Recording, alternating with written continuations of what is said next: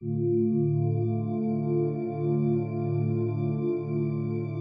my life, I've been trapped in this dark place called life. I keep seeing colors, feeling them, and hearing them in my head. So I made a painting called an album. For you to know what it feels like, for you to see it, for you to hear it, like me.